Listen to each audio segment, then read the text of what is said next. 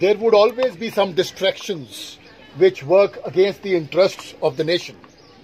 It is to the credit of our children, their parents, and the teachers, and I would say all of you, that we have been able to ensure that there has been no disruption in the education which we are trying to impart to the children in these schools.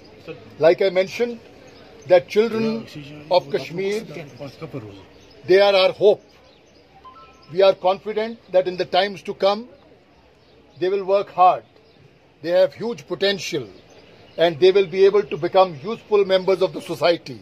Sessions which we organize in various Army Goodwill schools.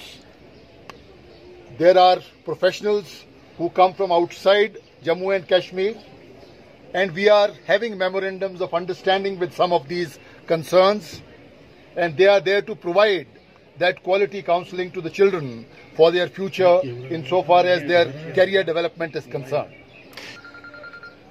Uh, as far as the army is concerned, we conduct our operations in a very professional manner. We have a strong code of conduct which values human dignity and the values of society. So I wish to assure you that all the operations by the army in Jammu and Kashmir are being carried out in a very professional and dedicated manner. And wherever there are any actions required to be taken, those are being taken at the appropriate levels.